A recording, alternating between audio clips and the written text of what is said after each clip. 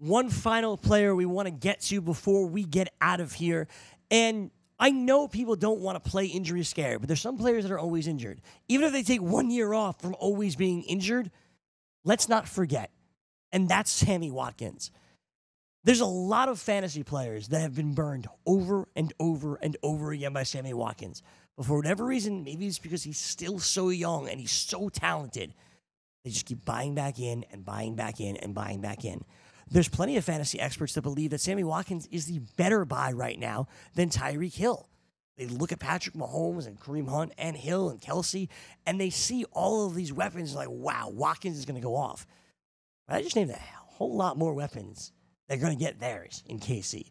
Hill and Hunt have been there. Watkins is the new guy on the block. Kelce's been there.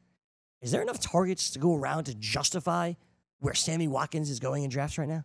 Yeah, so he's currently going in the fifth, sixth round range, and I, I, think you do have to worry about that. And I think it could be said for anybody in this Chiefs offense Tyreek Hill, Travis Kelce, both going inside the top three rounds of fantasy drafts right now, Greg. And I just don't really know how all the targets are going to be spread out. Last year, what Tyreek Hill did was absolutely phenomenal. He did all that on less than 110 targets. So Travis Kelce, does he get his, you know, 110 to 120 targets once again with Sammy Watkins now in the mix?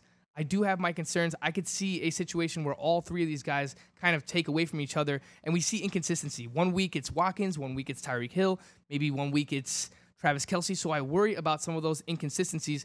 And if you've noticed, Greg, there's been a slight theme here with some of these wide receivers being drafted early in the NFL draft. Corey Davis, Amari Cooper. The thing is, we just fall in love with this pedigree where these guys are drafted, even if they haven't done it before or they've only flashed it once before. People will always want to buy in on that pedigree because they still think they have uh, something that we haven't seen yet before. And that's why Sammy Watkins is still going where he's going in drafts right now.